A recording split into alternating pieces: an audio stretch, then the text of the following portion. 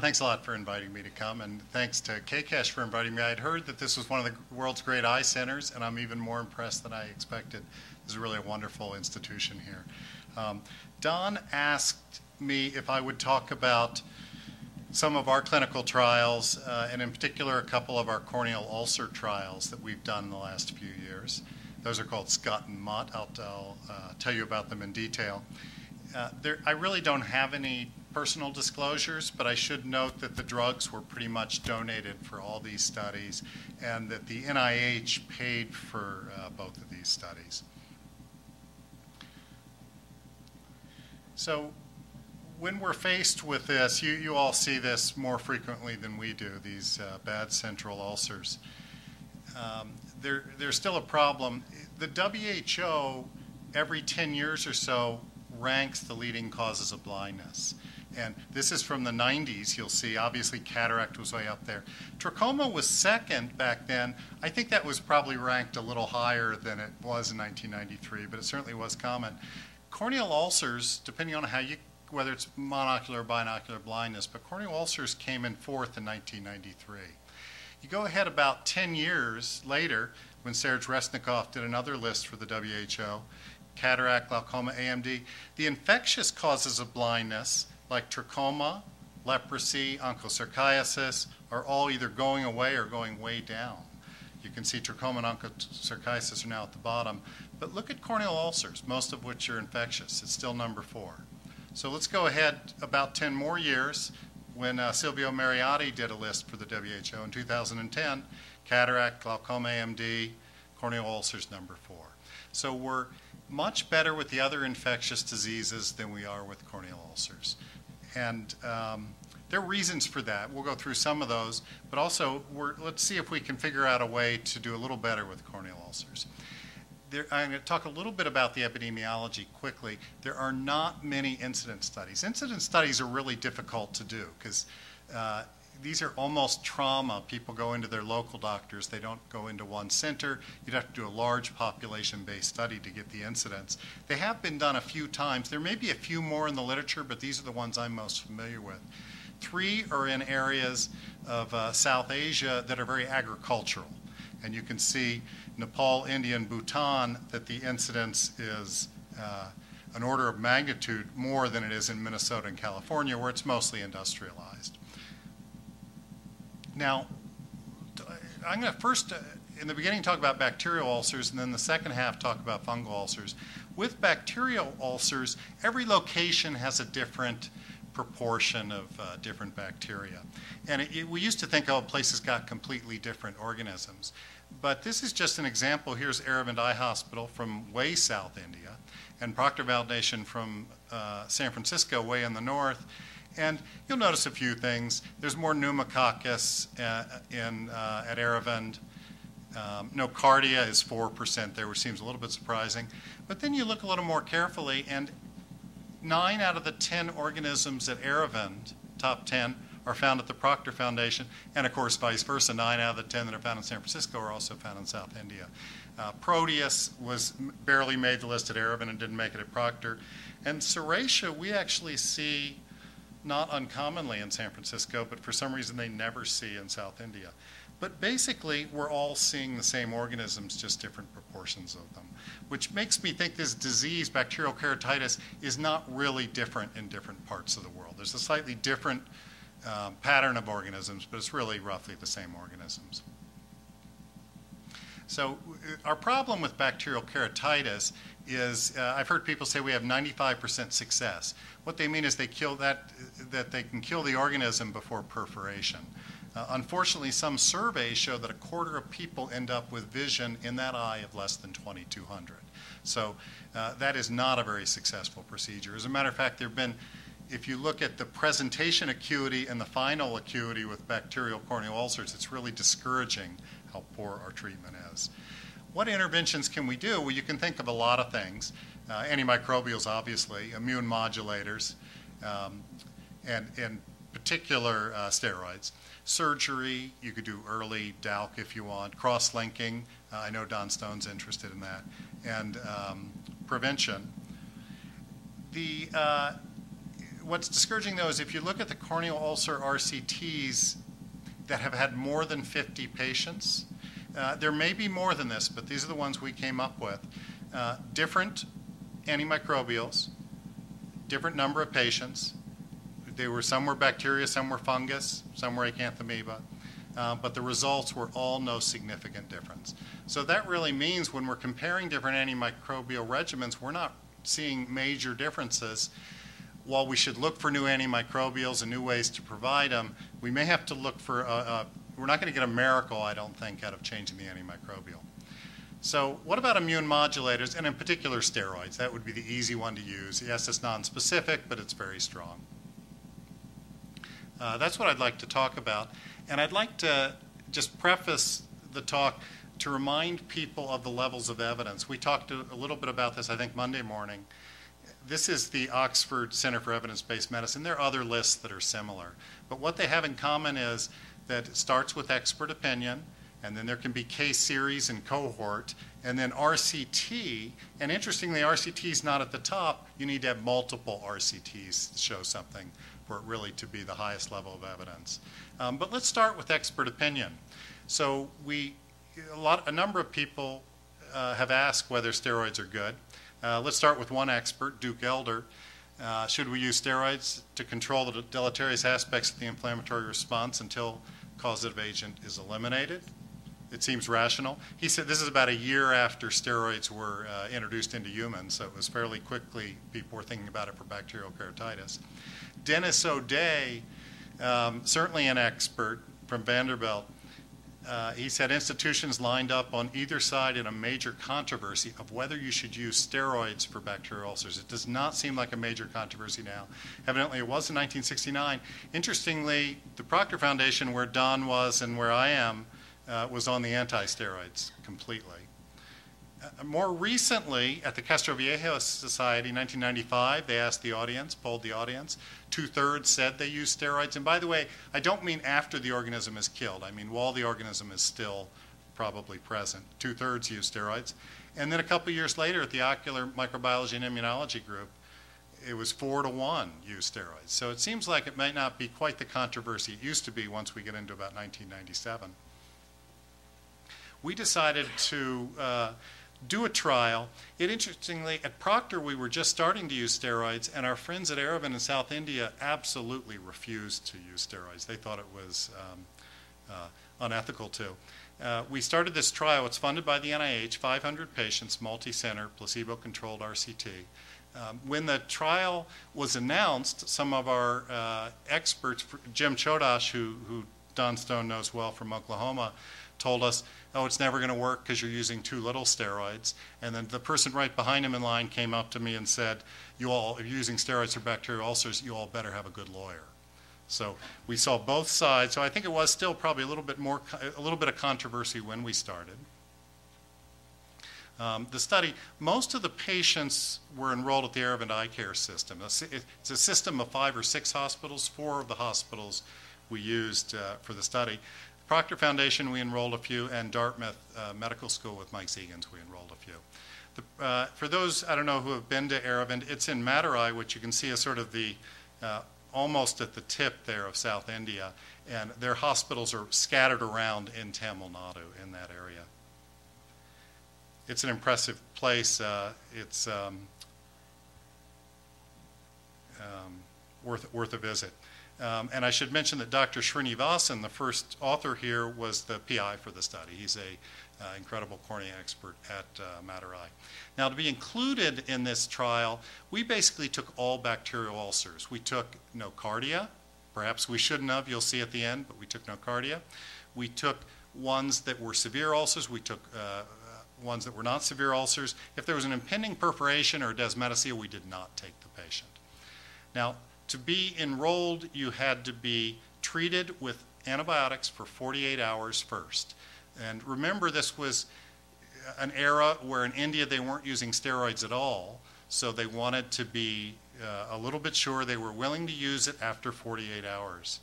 Um, the other reason to wait 48 hours is we wanted to be sure they were bacterial ulcers, so we only enrolled culture positive bacterial ulcers. And the study intervention was predphosphate versus uh, a placebo. The reason we used predphosphate rather than predacetate, which is used a lot more commonly in the U.S. at least, is predphosphate is um, can be in solution and be, can be clear. It's easy to mask. Predacetate basically would be really difficult to mask. So the regimen was not that much. It was four times a day for a week, twice a day for a week, and once a day for a week. We actually wanted to do double that, but once again, people were not comfortable at the time with uh, giving steroids to these ulcers. The primary outcome was best spectacle corrected visual acuity uh, at three months, and we controlled for baseline acuity. So it was a bad ulcer coming in, uh, that was recognized. It was a good ulcer coming in, it was recognized. We did lots of secondary outcomes, which I'm not going to have time to talk to you about today, um, but they were everything you probably could imagine there. There were 500 patients, 250 randomized to each arm we had pretty good follow-up. We had close to 90% follow-up, which for a disease that's almost that is uh, essentially like trauma. People are coming in; they're not your regular patients. For then, for almost 90% to come back at three months, we thought was pretty good. The baseline characteristics between the two arms are shown here. If any of you were at my Sunday, I think it was Sunday morning talk, um, I actually think this is about the least important thing in the world for a clinical trial. Uh, but the journals force you to put it in there. Um, but I'll, I'll, show it to you. They, it seemed balanced between the two arms. What is important, though, is the organisms that were in the trial. Even though, like I said, we all pretty much get the same organisms, we get va uh, vastly different proportions. And a large proportion were pneumococcus. Um, Pseudomonas you'd expect, but the second most positive gram positive there is nocardia, which is pretty rare in the U.S. I don't know how much you see here. Some? Not much. Yeah. That ends up being important. Um, the main research question, the primary outcome, does adding topical steroids to the treatment of bacterial corneal ulcer improve three-month acuity? Remember, these are culture-positive bacterial ulcers. These aren't ulcers that we thought were bacteria. These are ones that were definitely bacteria. Um, the two uh, on the left, you'll see baseline, and on the right, you'll see three months. What you'll notice is this is a box and whiskers plot, which isn't really worth going through, except that central line in the box is the median, the 50th percentile. And you'll see that they were basically identical at baseline, and at three months, they were basically identical. It could not have been closer to a tie. The steroid group won by one-tenth of a line of acuity. So this 500 patient study, we do it, and it was this controversial issue, and it turns out not really to matter. Um, so we joined the long list here of studies with no significant difference. We were a little discouraged. We did look more closely at the data. Remember with an RCT, it's the primary outcome that you're obviously most concerned with. So everything past that is, doesn't carry the same weight as, uh, as you know, the RCT primary comparison. But one thing is were there are more adverse events with steroids? Because uh, one of the main reasons Americans were not using steroids for bacterial ulcers is we were scared because we'd heard of these cases that had melted where the ulcers had done poorly. Well, it turns out the adverse events were almost identical between the two arms. If you go about three quarters of the way down, you'll notice the uh, increase in infil, no, I'm sorry, um, IOP elevated greater than 25. That happened 10 times in the placebo arm, but only twice in the corticosteroid arm. So this worry that you would see a uh, jump in eye pressure didn't seem to be founded. As a matter of fact, it was kind of the other way around. I wouldn't make too much of it, but I certainly would feel comfortable in terms of eye pressure. The other interesting finding is directly above that, no healing of epithelial defect by 21 days. Now, steroids are known in some contexts to inhibit healing of epithelial defects. And in an earlier pilot trial, we found that the steroids uh, increased the healing time, reduced the healing. And this was confirmed again in this. So even though I wouldn't make too much of these p-values on the right, because we're comparing lots and lots of things, that's really, that increase in healing time with steroids has now been consistent uh, across a number of studies. And the fact that the eye pressure wasn't elevated in the, in the steroid group was kind of interesting. Well, SCUT, question number three. How did the Pseudomonas ulcers fare? This was in America our biggest worry. Everybody said, sure, go ahead and give it in staph, go ahead and give it more Moraxella. The lore was it was good for more Moraxella ulcers, but whatever you do, do not give it to a Pseudomonas ulcer. It turns out the Pseudomonas ulcers in general in this study were about one and a half lines worse than the other ulcers. So they came in bad. But at three months, they had the same acuity as the other ulcers. So this is what our friends at Aravind had already always told us. They said, oh, the Pseudomonas ulcers aren't that bad. They end up doing pretty well with treatment. What they were really worried about were the pneumococcal ulcers there. Uh, but that held up. But the interesting thing is that it was about half a line better with steroids in Pseudomonas patients than not with steroids. So not significant, nothing to make a big deal about, but the organism that we were most worried about, Pseudomonas, was the one, if, if you're looking at the numbers, you would be least worried about now. Um, but there was an organism that uh, did fare poorly, and that was nocardia. Nocardia was, did significantly worse with steroids than with the placebo. So if you have a nocardia ulcer, do not use steroids. I think that's one of the messages from the trial. Um, what about those bad ulcers? What about those central ulcers? They come in, they're, uh, however you want to define it, it turns out we got the same result, whether it was, uh, was the vision less than 2400, was it central, was it uh, the depth estimated to be to the, to the deepest third of the cornea. No matter how we defined a bad ulcer, they all did better with steroids. Um, and for example, the ones with the worst acuity were 1.7 lines better with steroids than with placebo. So what that means is if you have a mild ulcer, it doesn't really matter. If you have a moderate ulcer, eh, it didn't really matter that much. But if you looked at the, say, 15% that were the bad ulcers, they actually did a line or two better with steroids. So that started to get interesting. Remember, this is all secondary data analysis. Um, here's, here's one that you, you can see was treated with steroids and did quite well. Of course, we could find others that uh, were not treated with steroids and did quite well. What about 12 months? Let's take out the nocardia patients now. We did a 12-month follow-up. The primary outcome was at three months, but we kept following everybody for 12 months overall, no nocardias, but you know, good ulcers, bad ulcers, one line better with steroids. And if you divided that group into the good ulcers and bad ulcers, the bad ulcers did three lines better with steroids at 12 months. So we're starting to see a pattern here. What about early administration of steroids? Now remember, we were kind of handcuffed here for two reasons. One is our, uh, our committee that decided uh, what we would do for the study didn't want to give steroids in the first 48 hours. So we already had a two-day delay at, the, at a minimum. But also, people often come in taking some antibiotics. In South India, you can just get them even without a prescription. So uh, it was probably half the patients or so at that time, maybe two-thirds, came in taking antibiotics. So they'd already been taking antibiotics for a number of days. This was all recorded you can see on the x-axis is the number of days antibiotics prior to uh, the steroid. So it'd be at least two days, but it might be more. And then the number of patients on the y-axis. We could divide this just arbitrarily into those who we gave steroids fairly early and those who we gave steroids fairly late. Now, if you look just in the ones who got the steroids early, they did a line better, and it was significant. So uh, and they did a lot, the severe ones did a lot better. So it's almost, all of those, those of us who were very worried said don't use it in Pseudomonas, don't use it in central ulcers, don't use it early, wait until we, you've really got the organism under control. We were dead wrong on all three of those things. So um, the major messages for SCUT, this, our bacterial ulcer study, before I get into fungal ulcers, is that there's no difference overall. That means if you're not a fan of steroids, you can just cite this study and say, oh, that's why I don't use it. If you're a fan of steroids, you can cite the study and say that's why you use it. Um, there was no increase in adverse events, so I don't think it's that big of a deal. Um, there was no problem with Pseudomonas. As a matter of fact, of the organisms, Pseudomonas did the best. And uh, steroids were better in the worst ulcers.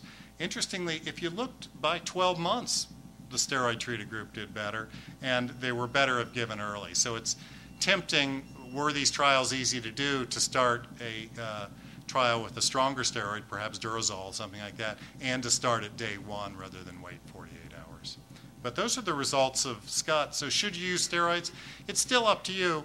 But you know, if you see a large central pseudomonas ulcer and you catch them fairly early, uh, I think that's probably where the odds are in your favor for using topical steroids.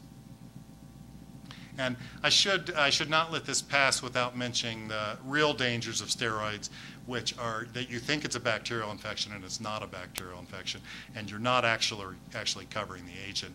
And we all know you can get in trouble with that with, uh, with herpes infections, with acanthamoeba.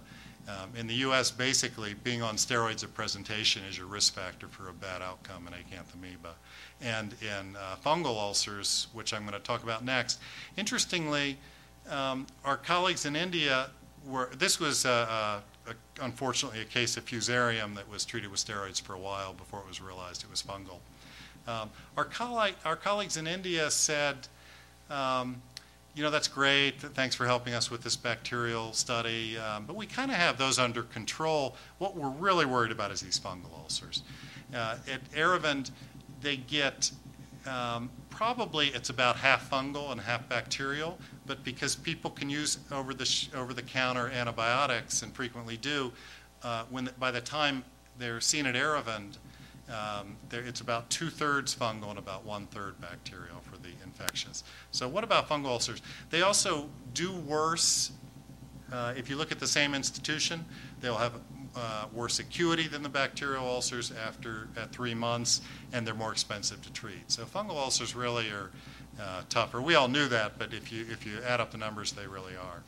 Um, in the U.S., they were not a big concern if you lived outside of maybe Florida and parts of Texas uh, until um, about 19, uh, 2006. It was a worldwide epidemic. I don't know how much was seen here. Singapore was the first to notice it. As we all know, it had to do with the um, antimicrobial properties of some of the contact lens uh, solutions. And there was a spike in the U.S. And the American doctors did not know what to do. We did not know how to treat these. Um, and sort of the epidemic came and went, and uh, it was, but it left a lot of questions how can we do better? Were this ever to come again, or were we to live in a part of the world like South India where these are everyday occurrences? How can we treat these better?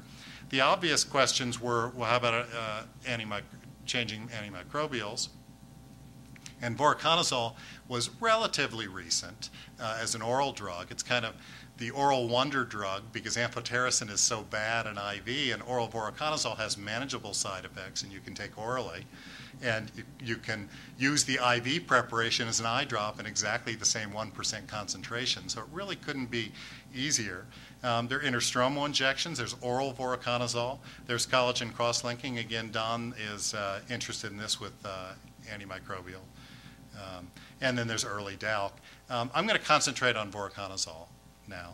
Um, and just to remind you of those levels of evidence, let's start again at expert opinion we did a poll of uh, ophthalmologists in the Cornea Society, and we said if you if uh, we gave them a case and we said, oh, the patient comes in with a fungal ulcer, what would your we ask a number of questions, but what would your most preferred antifungal be in an ideal world? In other words, you don't have to worry about cost and availability.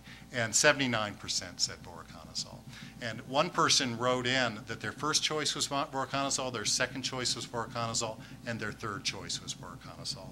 So expert opinion clearly favored voriconazole. You can't see this, I don't think, in the picture, but that faintly says voriconazole. That's Pfizer's drug. There was some lab evidence to back this up. Aspergillus, the old azoles, were pretty good at killing. These are um, minimum inhib inhibitory concentrations. So the lower con the concentration, the uh, more the drug inhibited it, the better. The high concentrations, the high numbers are bad. And um, you can see if you look over at itraconazole and cross that with aspergillus, you get 0.125, which is really, really low. So itraconazole, which is an old drug, kills fusarium pretty well. But you look at, I mean, kills aspergillus pretty well, but if you look at itraconazole and fusarium, it didn't kill the fusarium at the highest concentration tested. So that's really always been the weak spot with the azoles is the fusarium cases, not the aspergillus cases. But the new generation of azoles that came along, voriconazole is the famous one, posaconazole is a cousin drug made by another company, which is essentially the same, uh, did fairly well with the fusarium.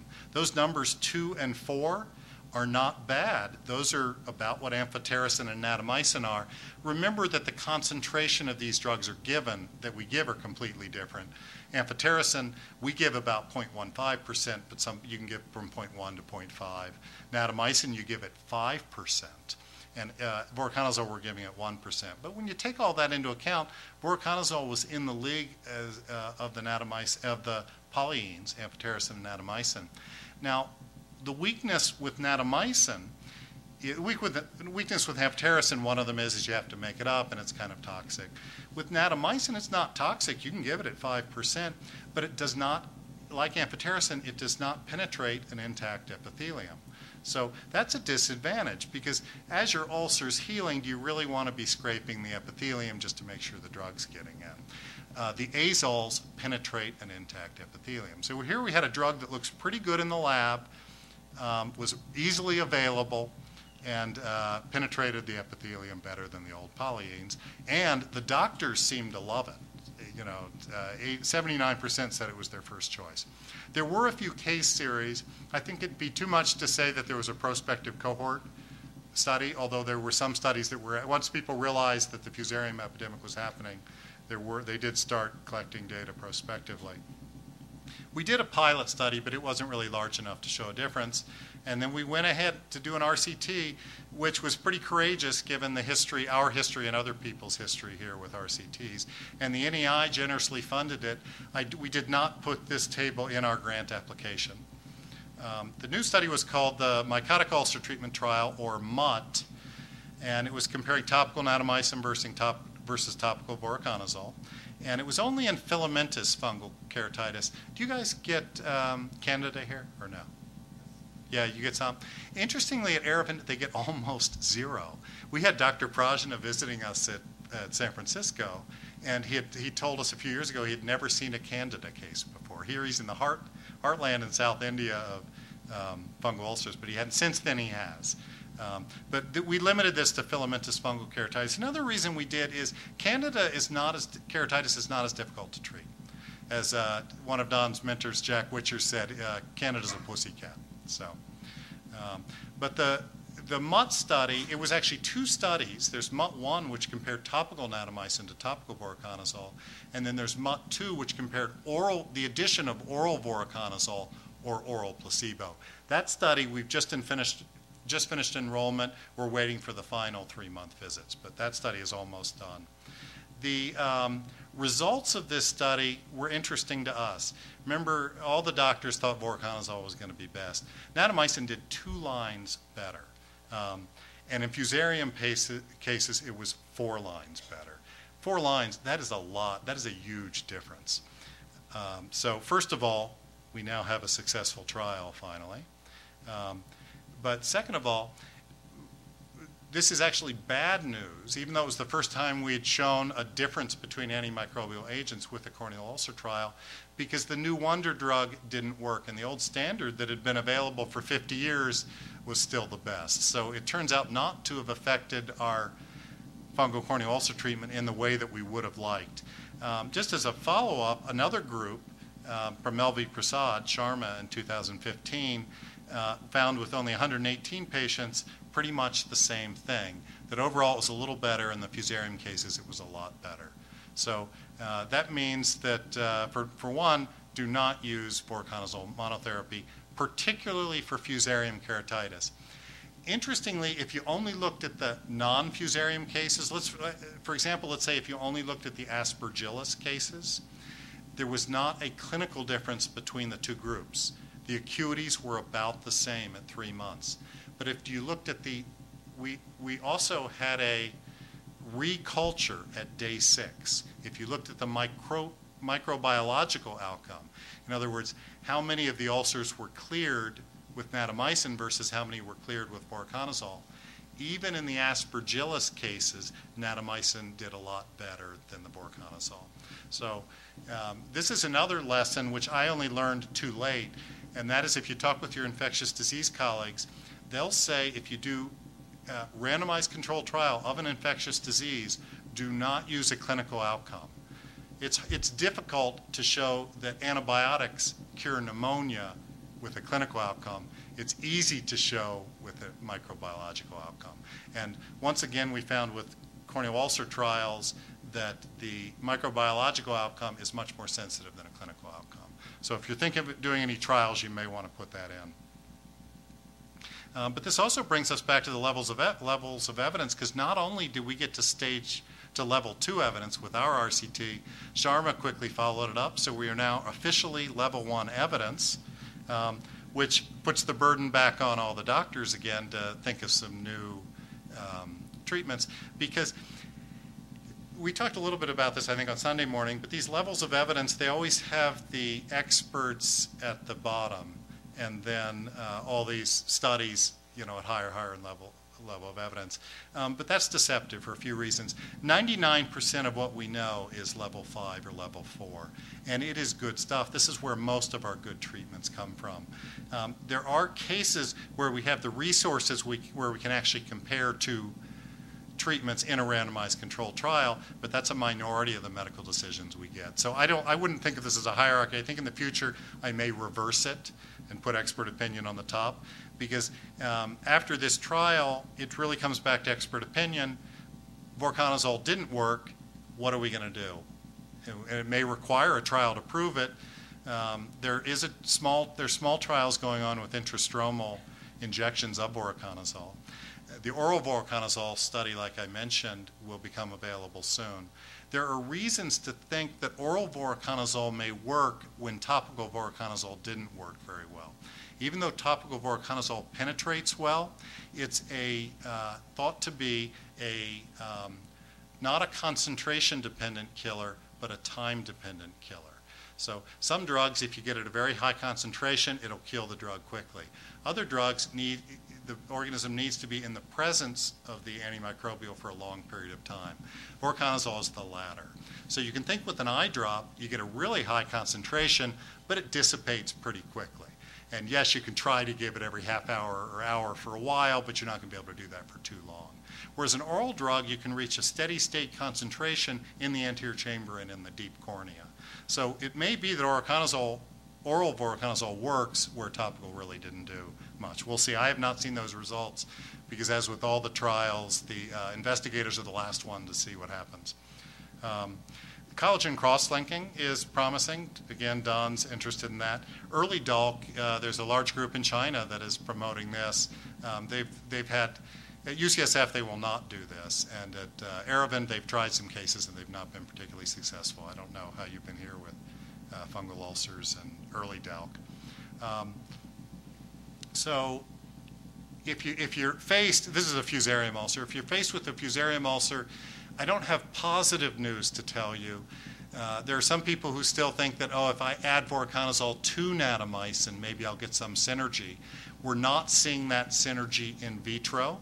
So in the lab, you don't uh, consistently see synergy between an azole and natamycin, so I'm not sure I'd really recommend it. I think given the choice, I would probably just give more natamycin than mixing it with voriconazole. Um, but I would tell you do not use topical voriconazole alone uh, and make sure you get some natamycin in there. Um, I'd like to thank uh, the people who did both of these studies. Dr. Srinivasan was the PI for the SCUT study, and Dr. Prajna, both of these are at Aravind and Madurai uh, for the fungal ulcer MUTT study. Uh, Nisha Acharya, who um, not only is a, gr a, great trialist and doing the FAST trial here with you all at um, KKESH, uh, she was also Don's co, um, co-fellow in Dartmouth, and the Data Safety and Monitoring Committee. Um, I've been interested in global ophthalmology for a long time, international ophthalmology, and both Ivan Schwab and Tony Aldave at one of the meetings said to me, Tom, how can you say you're interested in international ophthalmology? You've never been to KKESH. So uh, when I go back, I will tell them I have. And uh, thank you very much for letting me talk.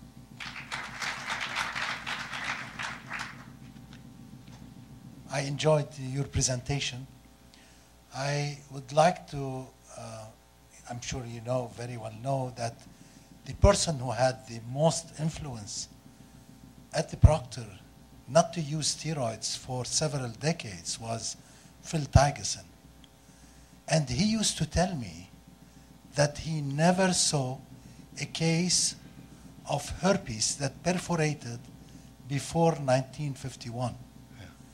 And when steroids became available, he was seeing many cases of perforations of herpes because of the use and the wide use of steroids. Because steroids, when they were introduced in the early 50s, were used for everything, and including infections.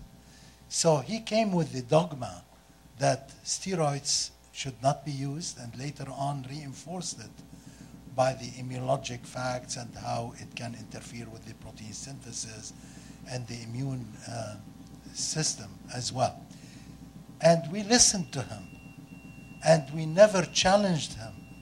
And if we did, he became red in the face and very upset. And Chan Dawson used to, you know, come and say, you know, I will use steroids in some cases of herpetic stromal keratitis. And uh, Dr. Thygeson used to be very upset. So uh, we lived in an era where no steroids were an infectious disease. But as you have done, you know, this is a scientific approach to tell us whether we can use steroids. If not, when we don't use them, and if yes, what are the situations where we are allowed to use topical steroids? But I think we should respect what Phil Thygeson taught us, that we should not use steroids in infectious diseases unless we have a clear objectives what we are doing. The other thing is that in this part of the world, steroids can be taken over the counter. Right. And if you prescribe them, sometimes they like them so much that they will keep on using them and abusing them. So one has to be very careful. What I do in my practice is I prepare my own steroids and give them a bottle which is not labeled, except with the eye drops and the instructions how to use it. And this is especially for those people who tend to abuse the drugs. I don't write a prescription sometimes because of this. So uh, I do appreciate what you mentioned. I uh, also was very much interested in nocardia. I want to tell you that we see many cases of nocardia here. And I don't know why. And they are frequently missed because most of the antibiotics that are available are not effective Right. against nocardia. And nocardia is related to the mycobacteria. It's a cousin of the mycobacteria. So mycobacteria, chelonae, and others, you can see them in some of these cases, and it's hard to, to treat. So I see a number of them, maybe uh, because they are referred from other physicians, but that nocardia is frequently missed, especially because you don't see a hypopyon most of the time with it, and they are misdiagnosed as herpes, and you end up in a chronic. Some patients may stay for six to seven months with a nocardia ulcer. So, uh, coming to fungi, fungi, we did a study here and we found out that in this part of the, the central province, Riyadh area, the most common fungal keratitis is aspergillus. And we have to keep in mind that the spores of aspergillus can withstand a temperature of above 80 and sometimes uh, very high temperature. And spores here, you can recover them from the soil around us. And in summer, the temperature may reach 55, 52 sometimes, and the spores are still viable. While we don't see fusarium. In Jeddah, which is the west coast of Saudi Arabia, uh, Arabia is uh, larger than Europe. The west coast, we see the most common fungal keratitis is fusarium. And uh, this is uh, a little bit different and maybe similar because of the humidity and other factors. Maybe. Now, candida, we see it, but we don't see it very often. We see it in uh, patients who are immunosuppressed. Right. I, see, I saw a couple of cases with who had hyperalimentation, had candidemia, and had retinitis, candida retinitis. Corneal ulcers due to candida is not common here. And uh, maybe, I'm, I'm sure because uh, maybe the, the spores are different or the, the candida is different from the, but aspergillus, because of the structure of the spore, it can survive very obnoxious environmental conditions and therefore we recover it. We can recover it from bread after the loaf goes inside the oven and comes back Still viable. and still viable. so uh, It's frightening. if you leave any piece of bread here on the shelf for five days, you will find Aspergillus niger Yeah. on it. So it is it's a common uh, uh, organism. So uh, for the etiology of fungi in Saudi Arabia, it differs where you are in Saudi Arabia, and you can see different types of uh, fungi.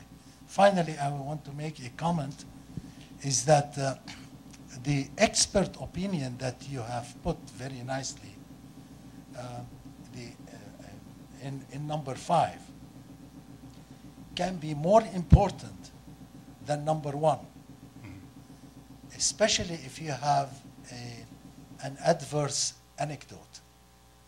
Uh, sometimes you see one complications that you will change your whole practice and you don't need to have randomized controlled trials. And so we have to keep in mind that although these are levels, but they can be used in clinical situations depending on the circumstances that we go through. And we should not say, oh, this is level one, it's better than five or better than four, because five can be more important than the tightest confidence interval that we have, and we should not disregard these observations and expertise and experience like you. You know, another reason that uh, expert opinion is the most important one is that's who's treating the patients.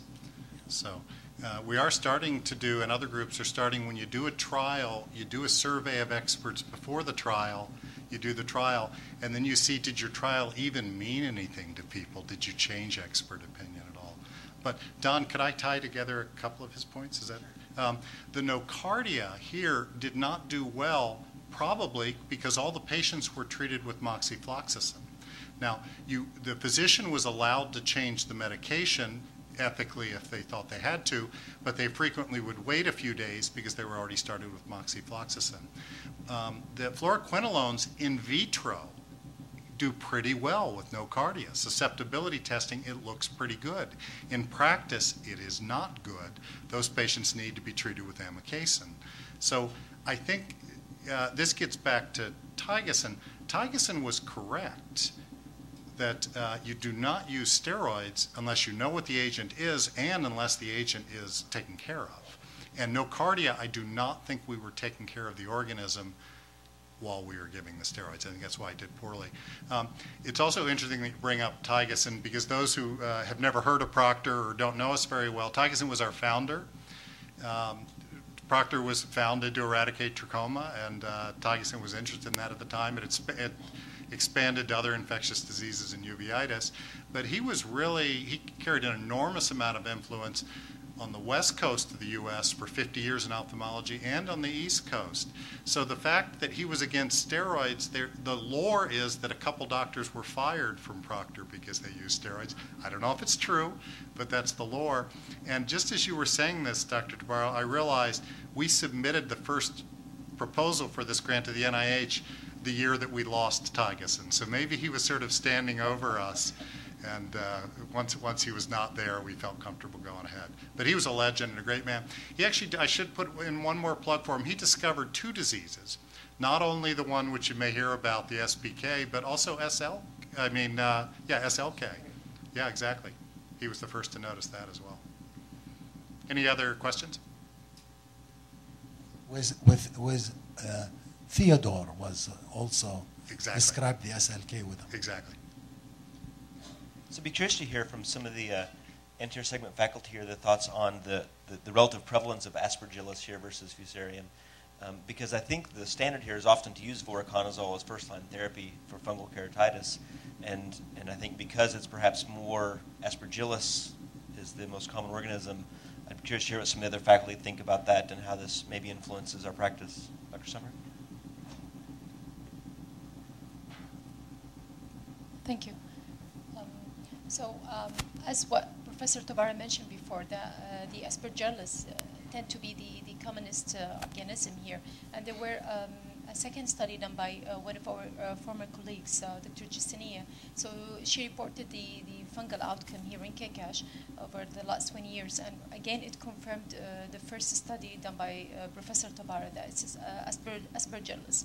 The only thing is that because of the trend of the uh, voriconazole use in the literature, uh, over the last four years, most of the surgeons here, they, they deviated to uh, the use of uh, voriconazole, uh, as amphotericin was our first line choice together uh, versus natamycin, depends whether it's hyphy or um, uh, so because of the toxicities and everything, people wanted to use it.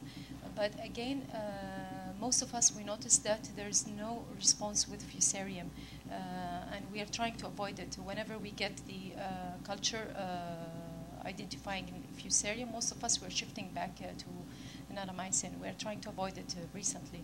Uh, the, the second thing is that we are still using voriconazole systemically uh, for, for our patients as the side effects are, are much more less in comparison to, to itraconazole or other other medications.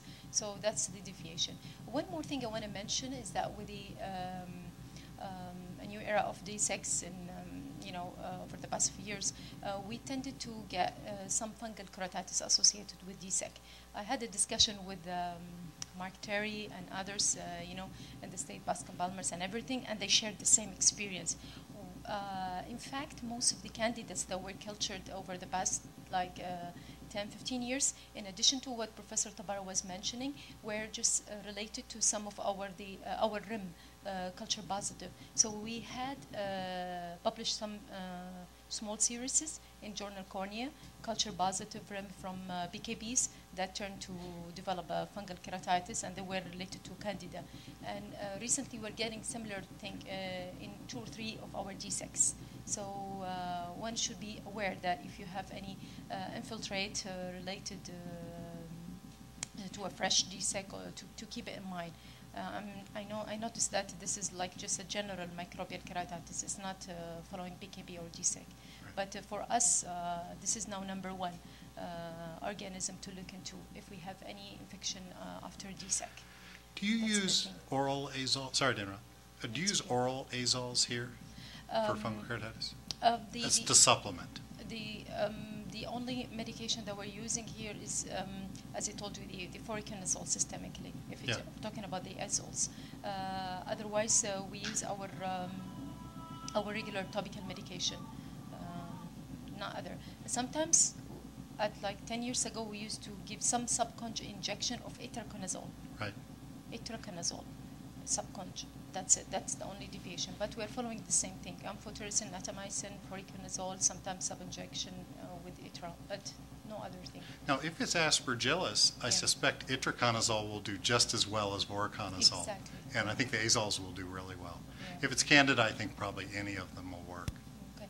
The only thing is that we noticed recently that we are getting some resistant strains of Moraxella. Of what? Moraxella. Uh, Moraxella, yes. I, uh, can you comment on the Moraxella? I've seen quite a good number of Moraxella here. There were about 15 in the SCUT trial.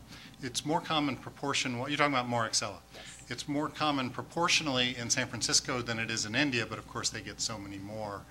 Um, there were about 15 in the SCUT trial.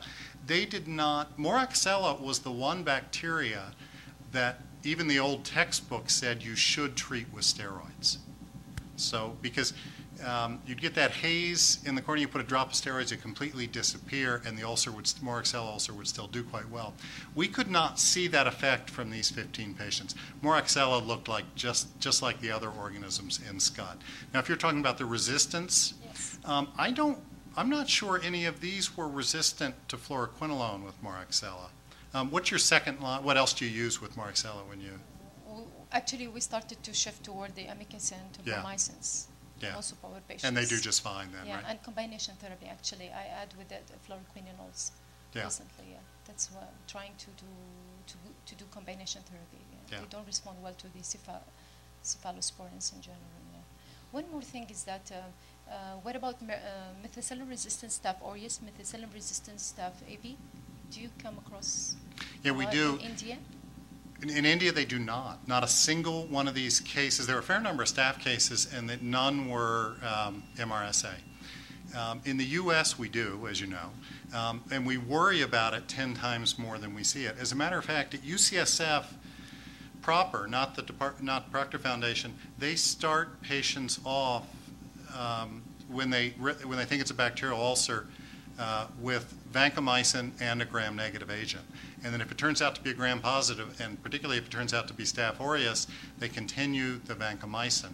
Now, that does sound nice because that'll get the MRSA, but a minority of, the, of staph is still MRSA in these cases. It's not a majority. The MRSA doesn't do worse clinically than the MSSA at the Proctor Foundation. I don't know elsewhere. Okay. Um, and the last thing is, if you're a sensitive, if you're susceptible to beta lactams and other things, um, beta lactams kill organisms a lot quicker than vancomycin does, and vancomycin is very toxic. So I do not think it should be a first line agent. Staph aureus tends to be on the slow side anyway. I think yes, if it turns out to be MRSA, go ahead and add vancomycin, but I wouldn't start with it. But we cannot even we can't convince half our faculty of that wisdom. So I see. Okay. Um, what about using azithromycin? For for MRSA, yes, topically or yeah, orally? Topically, yeah. yeah, um, we actually haven't used it. That sounds reasonable. It's not a particularly quick killer either, Yeah. so we don't really use it that much with ulcers. But um, azithromycin's my favorite drug, so you're teasing me up here. We're using it only for atypical mycobacterium. Yeah. mo- Most of our cases. Yeah. But for, for, for strep pneumo and, MRSA and ever, we don't have a lot of experience with that. Yeah. You know, one, o- do we have time for one other thought, or are we running? One more. Um, we've sort of alluded to this with a couple of these comments about using two agents rather than just one. It's always tempting to add more agents.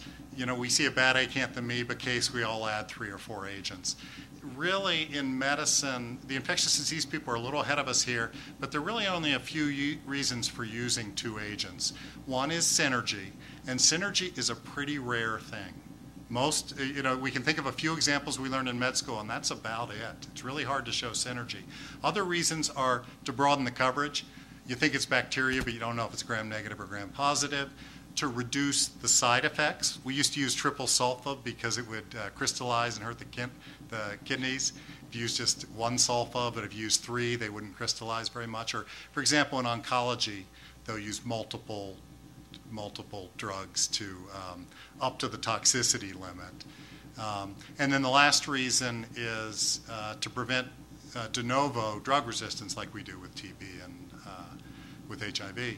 But if you think about it, maybe the broad spectrum would be a good reason to occasionally use two. But synergy is not a great reason in ophthalmology. So usually at Proctor, we end up trying to find one drug and just give more of that drug rather than having the patient switch and give two drugs. Thank you. Thank you.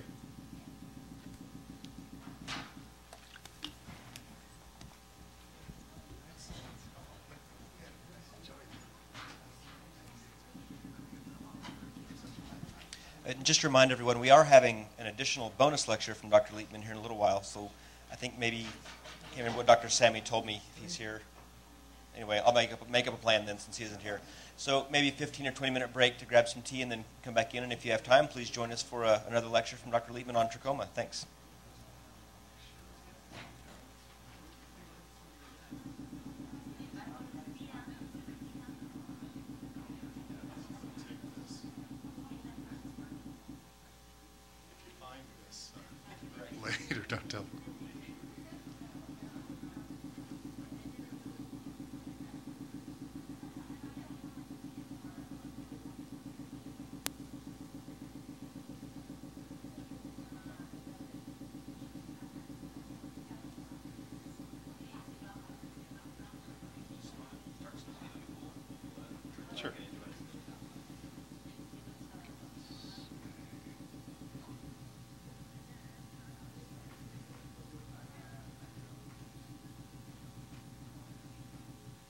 Yeah, I need your mic. I can't see the F5.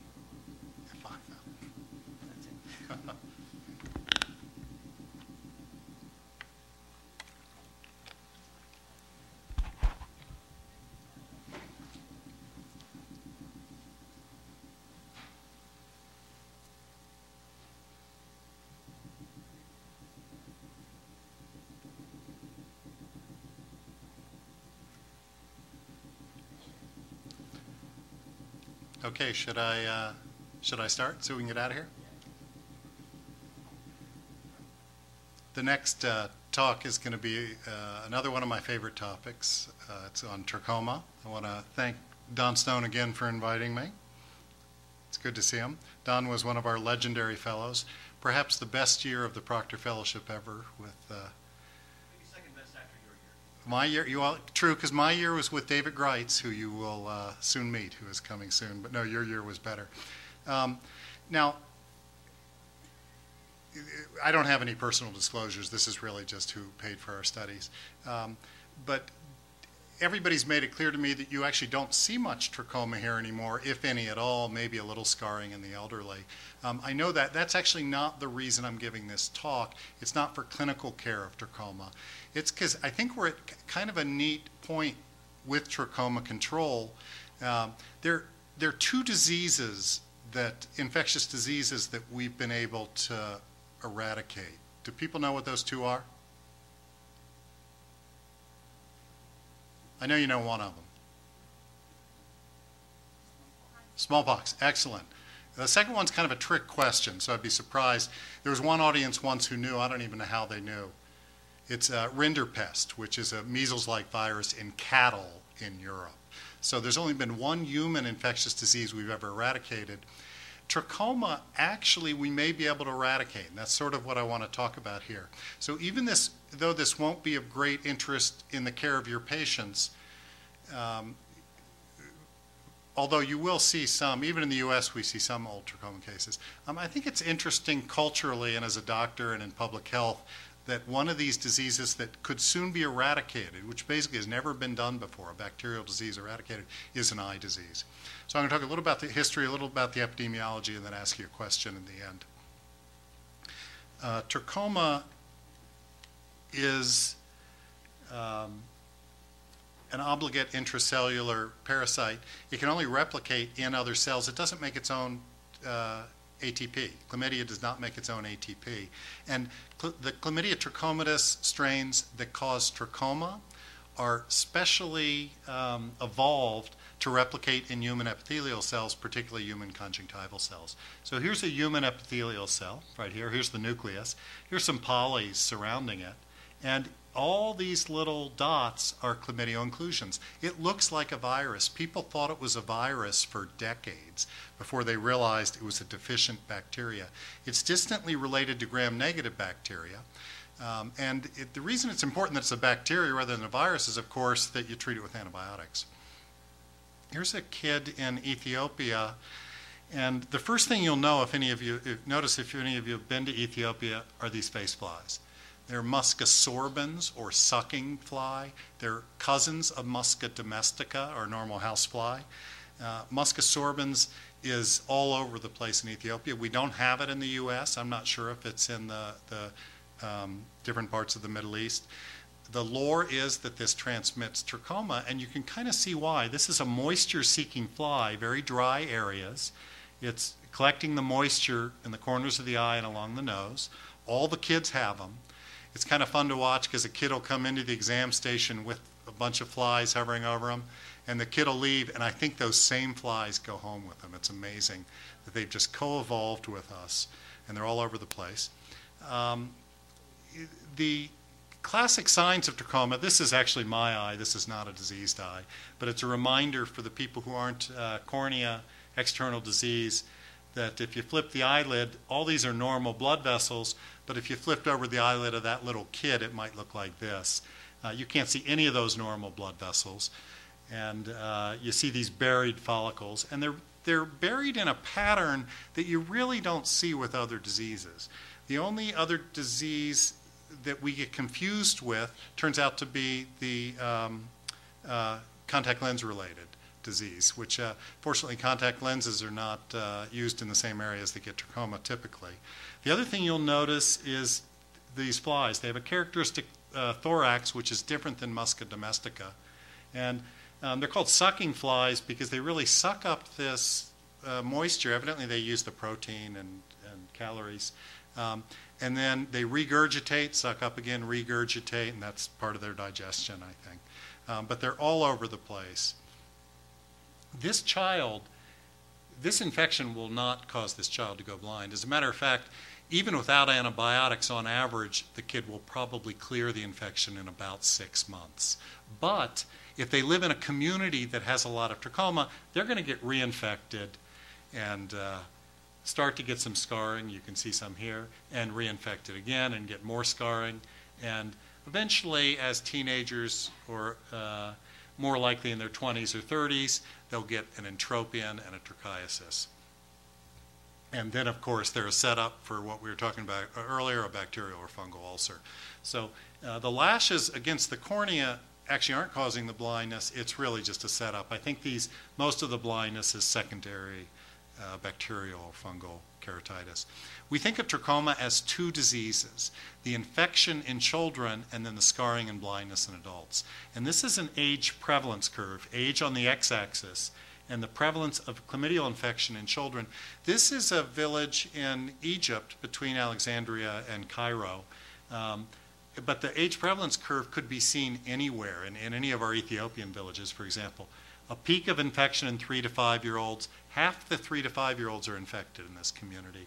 And then it goes down progressively, progressively where a small percentage of the adults are infected. This is probably, this decrease is probably for a couple reasons. One is you can get partial immunity to chlamydia. So you can get reinfected with the same strain, but you're a little bit less likely to.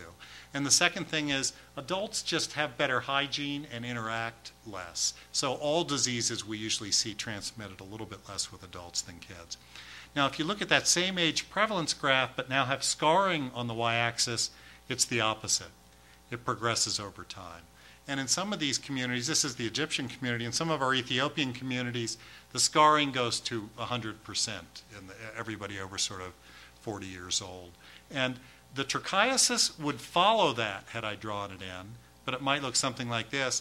And blindness, corneal opacity, follows uh, fairly quickly in this setting in the elderly, maybe two or three years on average behind the trichiasis. And it's usually a bilateral disease. If you have scarring on one side, you usually have it on the other. If you have infection on one side, you usually have it on the other. And unfortunately, if you have trichiasis and, and corneal scars, it's usually bilateral.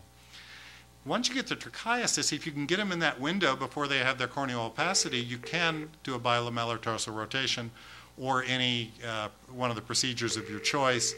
And they're fairly effective for about a year. Uh, but if you go back and look five years later, the recurrence is fairly high. So I don't think the answer to this is going to be um, um, surgical. I think it's going to be preventative. Trachoma is a, is a very historical disease. This is a picture of, uh, there, there are three medical papyruses that still exist from about 1500 BC, Egyptian papyruses. Uh, they're basically lists of uh, ailments and then the prescription used to treat them. And in these, if you look at these three papyruses, uh, about 15% of the prescriptions are for the eye and are for preventing new eyelash growth. So we think these were actually for trachoma. And Egypt, in, in the old days, used to be a hotbed of trachoma. The, that papyrus was actually the Berkeley papyrus, the Hearst papyrus. The other two are the Smith and the Ebers papyri.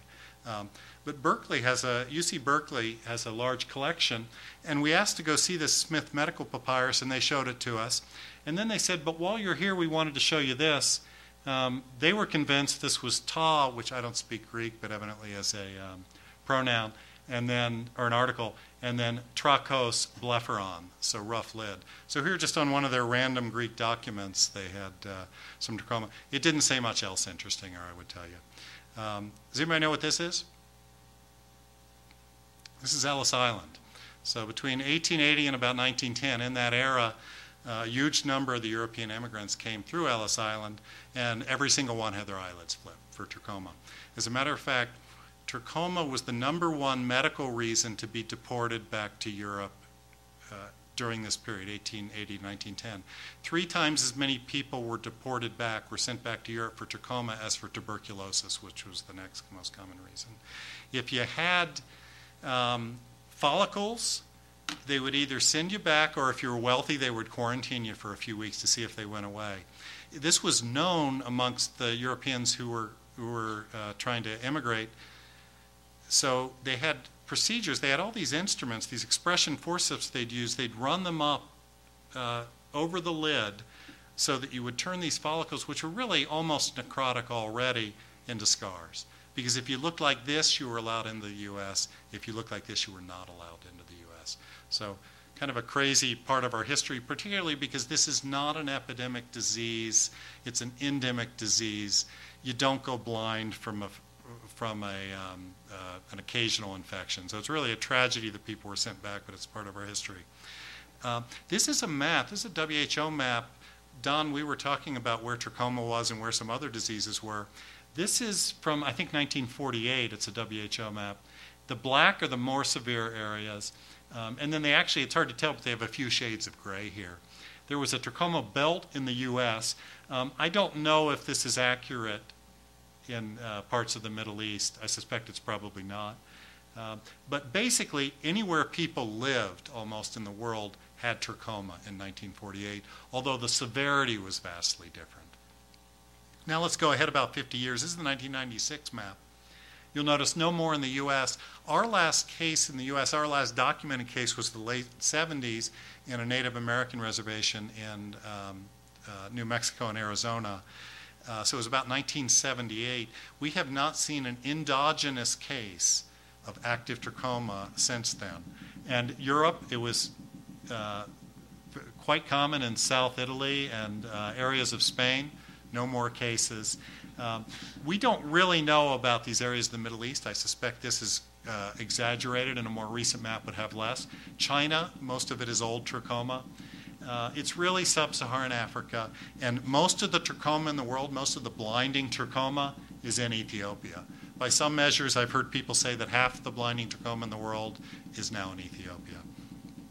I showed you the lists, the ranking lists earlier when we were talking about corneal ulcers. 1995, they thought uh, trachoma was number two. By 2002, they had it down to number seven or eight, seven here. Um, I suspect that didn't disappear in seven years. I expect that was just an appreciation that there was a lot less trachoma than they thought there was. And it's 2010, it's about the same on the ranking, but when they do their next list for in the 2020s, I suspect trachoma will be off the list. There are a few things that we all learn about trachoma. One is that uh, it's transmitted by flies. If you, you can find chlamydia on the fly if you try to PCR it. Um, there are there is trachoma in some areas, like Mexico. They don't have Musca sorbens, and they still get trachoma. And there are other ways of transmitting trachoma. I suspect a lot of it is just hand to eye, much like pink eye would be in this area or in the U.S. But these flies really are impressive. And part of the lore with the flies is if you have a dirty face, that attracts the flies. And, uh, you know, that's just uh, going to spread the trachoma more. And if only you washed everybody's face, wouldn't the trachoma go away? Well, there's no question that kids with a dirty face are more likely to have trachoma than kids with a clean face. But the kids with the dirty face are also a lot more likely to have a lot of other diseases, and we're not really pinning it to washing your face. Um, so you really need to do an RCT. You really need to do a trial where you wash the face of some communities and you don't wash the face of others. That has been tried, and uh, despite what you might have heard, that did not show a difference between the two groups. So no one has ever been able to show that washing a face can cause trachoma to go away in a community. I wish it were that simple. And also, remember, a lot of these communities, like uh, some of the communities in Ethiopia or Niger where we're working, there's no rain, there's no extra water for six or eight months of the year. So there's, you know, you're, you're pumping drinking water, and it's a lot of work to get it, and you're not, you don't have extra water for bathing. We, there used to be contests in the trachoma world to see how many flies you could get on a photo, and uh, they, they've had ones with hundreds. Another part of the lore is the, these Musca sorbens flies preferentially breed in human feces. They've evolved along with us. They can breed in cow dung, but they're not very efficient at it. So if only we all use latrines, then these flies wouldn't breed. And there's some truth to that because flies go up and towards light. They won't go down into a dark latrine. So We've actually done studies with uh, our Ethiopian colleagues where we've randomized communities to what the, what the Carter Center, our colleagues call latrinization. They call it intensive latrinization. Or to just, uh, the community could do what they want. If they had latrines, great. Uh, and then we looked in two years and it made no difference whatsoever. Installing latrines will not cause trachoma to go away. Unfortunately, I wish it did. There's no vaccine that works against chlamydia currently. That's not surprising because if you get infected with one strain, you can get reinfected with the same strain. And vaccines, it's pretty difficult for vaccines to be better than give you better protection than having recovered from the native infection. So we're left with antibiotics. And as politically incorrect as it seems, um, it's difficult to tell who's actually infected in communities, so the WHO recommends lining everyone in the community up and treating them with oral azithromycin. Now, azithromycin, you, you, we use it a lot in kids in the U.S. You probably do here. Um, it's nice because you can give it single dose, so you can line up people and you can watch them take it. If you send people home with topical tetracycline and tell them to take it for six weeks, there have been studies where you go back two weeks later and 0% of the people are still taking it. So that means that our, our um, friends in Ethiopia and Niger are just like Americans and probably like Saudis, that they're not going to be taking um, a drug consistently for something that's subclinical that they really don't even notice that they have. Zithrom, oral azithromycin you can give single dose. We give a, a, gram for adults or the 20 milligrams per kilogram for children. It's, we used to say 95% effective at eliminating chlamydia in an individual. It's probably more like 85, 90 minimal side effects. You can get a stomach ache. You can get some diarrhea, like an antibiotic, but uh, uh, it's pretty safe. Remember, it's single dose, so even were the liver function tests to, to go up, they would go down, and, and you wouldn't even notice. We wouldn't even know when to test for it. Um, C. diff has not been a problem with single dose oral azithromycin. Uh, there's been no antibiotic resistance in chlamydia. There has been in other organisms, for example, pneumococcus, the, uh, that's living in the back of the, colonizing the nose of all these kids. So resistance is an issue, but so far not an issue with chlamydia. That may not be that much of a surprise. We all think, oh, bacteria are going to become resistant to any drug we use, which may be true. But remember, syphilis is still resistant to penicillin.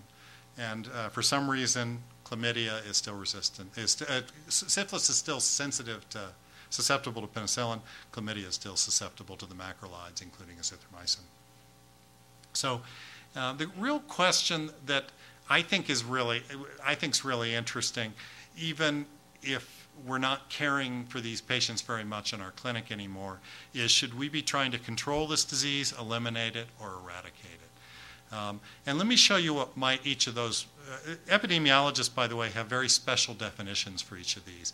Control means let's bring it to a low level where it's probably not going to be a public health concern. It still may cause an occasional case of blindness, but it's not a public health concern. Eliminate and eradicate are synonyms in English, but the, for the epidemiologist, eliminate means get rid of the infection locally in a geographical area. Eradicate means get rid of it on the planet. So that's the difference between eliminate and eradicate. Now let me show you what each of these might look like with antibiotics, with mass antibiotics. Time is on the x-axis and percent of prevalence of infection in children in the y-axis. So this is a made, make-believe community, kind of like the one I showed you in Egypt, though, where half the kids are infected. You treat, you try to treat everybody, you don't get everybody. Not everybody's there that day. The drug's not perfect anyway. So it comes back, but you treat every year. So you control the disease. This generation may not go blind because it's, there's a lot less burden of infection than the previous generation. So this is what control would look like. Now, if you're, if you're talking about control, you have to say, wait a minute, there's, you don't have an end strategy here. There's no end to this. Are you going to be giving antibiotics forever? So then you got to think, are antibiotics good or are antibiotics bad? That's a tough question. You could ask, is resistance an issue? I already told you chlamydia didn't become resistant.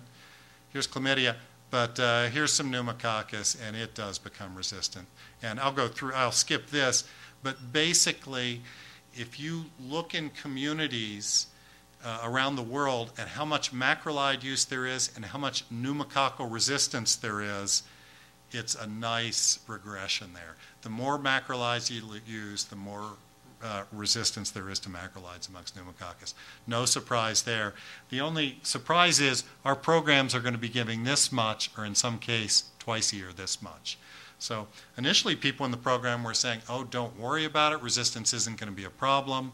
But boy, it looks like it should be a problem, and uh, indeed it is. We did a study which, uh, in the interest of time, I won't dwell on too much, but we treated kids every three months for a year. Uh, we did nasopharyngeal swabs at the beginning and the end, and uh, this is time, beginning of the year, the end of the year. This is percent of resistance. It went way up, not surprisingly. Um, the communities that weren't treated, it was still low. So it wasn't just that there was a lot of resistance overall in the area, it was that we were selecting for it.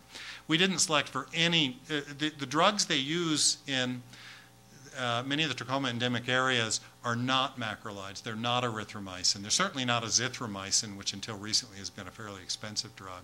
They're penicillins, sulfas, tetracyclines, chloramphenicol, fluoroquinolones a lot, and uh, we caused no resistance in any of those categories. Uh, but we did cause a lot of pneumococcal resistance. And here's another study. We treated every six months, almost no pneumococcal macrolide resistance in the beginning, 75% of the strains, pneumococcus, was resistant by three years. We stopped treating and it went away. We wanted to wait longer because there was no more chlamydia in the area at the time, but the trachoma program said we have all this azithromycin that we've been, that's been donated, we're going to treat. And we couldn't stop them from retreating. So I don't really know what happened after here. But presumably it would have gone da- back down to baseline. So yes, we are causing resistance in other organisms. We think when the program's over, that resistance should disappear. So antibiotics can be bad, there's no question. What about are antibiotics good? Well, that's a pretty hard question to answer. Um, we could say, do they affect mortality? In some of our larger trachoma programs where we've uh, randomized communities to azithromycin or to nothing for a year and see how they did, in one study of 66,000 people, uh, it turns out that in the treated communities, the childhood mortality rate was 8.4 per thousand person years. And in this area of Ethiopia, that's about what we expected. That's not one of the higher areas in the world, by the way. That's kind of a moderate level for sub Saharan Africa. In the azithromycin treated communities, it was half that. So who knows, maybe giving oral azithromycin, um, even though it's exactly what we are taught not to do in medical school, to give antibiotics non-specifically, but maybe if you go to these communities where they're not getting antibiotics at all, you can actually reduce mortality. We're now retesting this in a large Gates-funded study in Niger, Malawi, and Tanzania. We're about halfway through that study. Um, but that's not a trachoma study, that's a childhood mortality study. But when you're talking about are antibiotics bad are antibiotics good, I, if we have to give them for a long time, I don't know the answer to that. I would say it's complicated. I say they do some bad things, but they may actually do some good things. Um, well, what would local, what would elimination look like? So that's what control would look like. Yeah, we know we can control it. It doesn't become resistant, but we know we're causing resistance in organisms. Maybe reducing childhood mortality. It's hard to tell. What would local elimination look like? Well, same scenario. Half the kids are infected. You treat. This time we'll treat twice a year. So we'll treat. So the amount it comes back each year is less than the amount it goes down when we treat, and maybe in theory you could eventually eliminate it. Um, this turns out we've, we've tested this in communities, and now these circles are an average of eight communities, and it looks like it, uh, it doesn't fit our prediction perfectly, but it basically fits it. And in six of eight of these communities, by two and a half years, we could not identify any chlamydia. We went to some of the communities and swabbed every person in the community, and we couldn't find any chlamydia by PCR. So I think local elimination, even in these terribly infected communities, is actually possible with antibiotics. We're now trying to see whether we can eliminate infection in a larger area, but uh, local elimination to some extent is possible. What about eradication? This is the big question to me. Now, some people think that magically, if you bring infection down to a low level, it will just go away. And that sounds like wishful thinking to a lot of us. In population biology, they call this an Allee effect. And you see it with large mammals. For example, tigers, when you bring the density of when the density of tigers in an area goes down to a low enough level, males and females can't find each other. They're, they reproduce less frequently, and they eventually, um, unfortunately, disappear. Now, would that same thing happen here? Chlamydia doesn't have a male and a female form, obviously, it's a bacteria. A lot of parasites do. So, onchocerciasis, schistosomiasis, uh, uh, lymphatic filariasis, they think this may actually be true. They think if you bring it down to a low level, the males may not find the females or vice versa. With chlamydia, we don't know why bacteriologically that would happen. Um, but people think it would. So we, we have tested it. You think it'd be an easy thing to test, just go to a community and treat. Here's a community. This is real data. This is a real community, single community. Treat, and it goes down to here. Watched it for a year. It didn't come back. It looks like there may be an Allee effect. The only problem is this is a neighboring community. Same prevalence of baseline, same effect of the antibiotics, and for some reason it came back in that community. When we show this, people used to say, oh, well, what's different about these communities? I don't know. They look the same to me. Um, they started off the same. They had the same effect of antibiotic treatment. We think it's just sort of who infects whom afterwards, and sometimes you get lucky and it goes away, and sometimes you don't. If you average the eight communities that were in this study, it came back just more slowly, somewhere in between. So we thought, well, that's great. There's probably not an Allee effect. Um, we have to move on. Uh, but people said, oh, you didn't bring it down to a low enough level. You've got to treat multiple times. So in this study, we treated four times and brought it down to a very low level. These are sort of one, two, three infections in a community right here. And then we stopped treatment, and let's see if we brought it down to a low enough level so it went away. Nope. Some communities came back quickly, some it didn't really come back very quickly, like you saw before. On average, it looks like it was coming back just as you might predict, almost exponentially there. So we thought that ended it. There's no Allee effect. Our colleagues from London School of Hygiene and Tropical Medicine published this study in a single village, treated once, and it went away. So, New England Journal article, and they said you only need to treat once and that we can eradicate this disease. So, we thought this is a pretty important question because uh, are we going to just treat once? Should we aim for eradication or not? Our studies were flawed because we treated some communities, but neighboring communities we treated a different way. So maybe infection was coming in from neighboring communities. So we thought, let's try to do the perfect study. Let's do multiple communities, all treated the same way. No subsequent retreatment. For this study, they actually, if children had follicles, they would retreat them. So it's not quite true that they didn't retreat. Uh, we treated neighbors the same way. Oh, the multiple communities were done just so it, we couldn't get lucky with one community. We're going to take the average of a lot of communities. And we wanted to work in an area where trachoma wasn't disappearing on its own. As you know, in large areas of the world, including areas near here, um, trachoma disappeared not because of antibiotic programs, but simply just because it was, uh, there was some secular trend um, there was some development that caused it to go away. So we found an area of Ethiopia where it was not going away. And uh, here's what's happened. Here's what happened. These are 16 communities. This is a spaghetti plot. So each community is in gray, but then the average is in black. So we did one treatment. It went down from 45% to about 14 or 15%. Not a bad response. Single treatment got rid of two thirds of it right there. Um, what, what happened? Did it come back? Not really. Did it go away? Not really kind of just stayed there. So this is one of those studies where you keep trying to do it perfectly and you still don't get an answer. One of our biostatisticians did some special math, and there's a slight tendency for it to come back if you didn't bring it to a low level, and a slight tendency for it to go away if you did, but you have to squint to see that. It's not very convincing. So, um, to, to kind of conclude about whether we should do control, elimination, or eradication, um, I'm actually going to put that on you all. If you could humor me and with a show of hands, I've given you pretty much all the information we have. Um, do you think our program should be, Trachoma program worldwide should be aiming for control in the next 20 years? Local elimination, in other words, really try to get rid of it in communities or maybe even some countries, but not expect to in all countries, or go for eradication. So if you think control, humor me and raise your hand. Okay?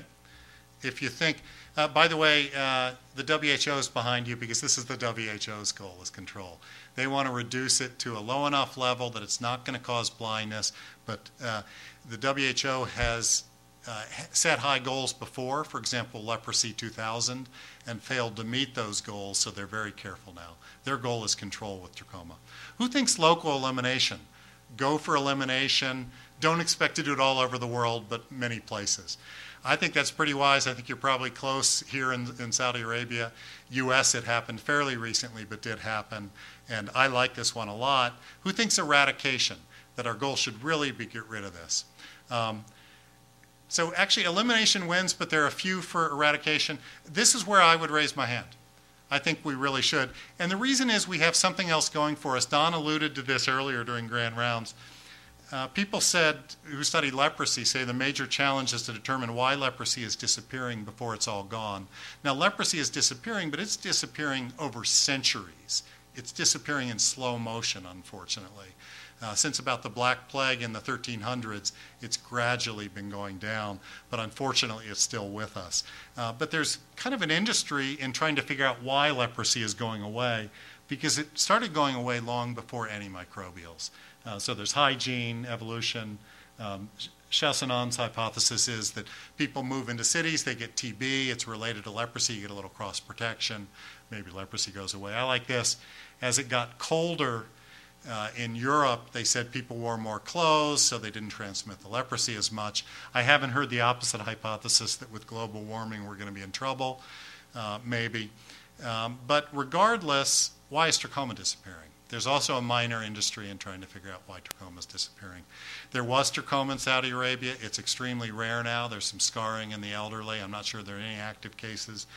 Uh, was it hygiene? Was it clean water? Was it education? Was it electricity? Um, Dr. Khandekar showed that uh, Oman was the first country to be endemic and really to have it registered as elimination. That's thanks to his work. Um, but I don't think we know why it was eliminated there. Does, does, do we know why in Saudi Arabia? I think Saudi Arabia is such an interesting case because probably got all of these things fairly quickly and it uh, trachoma probably went along with it. We may not know. I wanted to share with you, though, uh, some photos from Ethiopia where the world's changing. This is from one of the actual poor areas of Amhara, Ethiopia. And you know, now the older brother comes and visit. He lives in the city and he has a nice new motorcycle, even though they're living in a hut which could have been from maybe a thousand years ago. And their farming hasn't really changed much. But they have a lot of electricity from the Blue Nile Falls, from, um, which is the source of 90% of Egypt's water. Um, and uh, it's not being distributed very well. For example, all this electricity is bypassing this village, but it's quickly getting to the villages. Um, so, what is it that's going to make trachoma go away in Ethiopia? It's, it's, you know, development is happening there, even in the poorest areas. This is a picture of a temple in Kathmandu. Kathmandu, uh, Nepal used to have a ton of trachoma. We have other projects now. There is no trachoma left in Nepal. There are no active cases. We've swabbed entire villages. We can't find any chlamydia. Just 20 years ago, these communities looked a little bit like the Ethiopian communities. It disappeared fairly quickly. This is a picture, uh, this is a representation of the Buddha's eyes that's common in Tibetan and Nepalese art. Thygeson, the founder of Proctor, who you heard about earlier, that Dr. Tabbara was talking about, says that they drew it this way because the eyelids of most of the adults were scarred. So uh, this was an area of the world that had a lot of trachoma. Now there's none. We do not know why. We were distributing antibiotics in these communities in western Nepal, wandering around, and we noticed every one of these communities had one of these shacks that sells uh, drugs. Uh, most of these are not antibiotics, but one of the shelves, I forget which one, perhaps this one, was antimicrobials. And you didn't need a prescription. If your kid had a runny nose, a cough, you'd walk up, you'd get a, a few sulfa tablets. Fluoroquinolones were just fluoroquinolones were just coming in at this point. If they're older, they might get a few tetracyclines. They'd give a lot of amoxicillin. People were taking more antimicrobials that were effective against chlamydia from these shacks each year than we were distributing in our antibiotic program. So for all those reasons why trachoma may be disappearing, it may actually be antibiotics, not the mass antibiotics we're given, which are which are helping, uh, but the antibiotics the communities are just getting anyway. It's it's curious. I don't know if we'll ever know the answer to why it's disappearing, um, and if anybody thinks they know the answer for Saudi Arabia, I'd be very interested. Um, I wanted to end talking about mass distributions because this is a curious tr- treatment. We're talking about precision medicine more and more in the U.S., where each individual gets a different agent or a different treatment. And this is the opposite. This is going into communities, lining people up. We don't even know if they have the disease and we're treating them. And it's really been done for only a few diseases. Uh, I'm not talking about vaccines. Vaccines we do this with, but for for um, for pills we in general don't.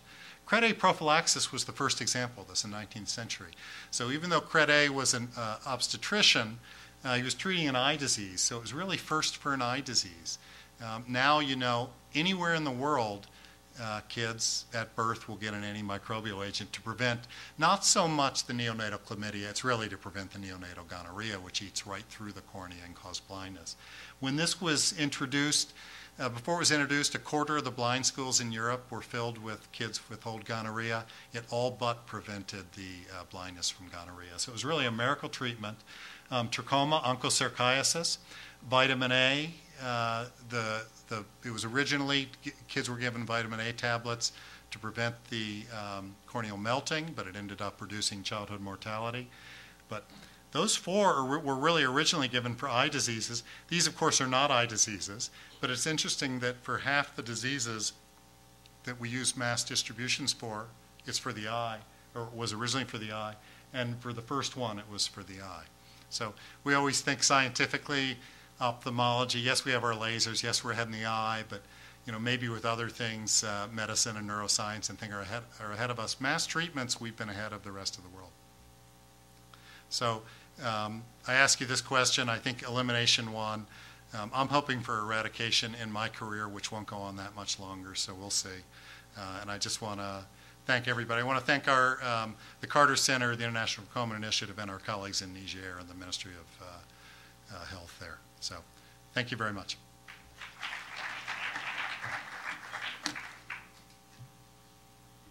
More on trachoma than you wanted, but I think uh, it's an interesting public health issue in our careers.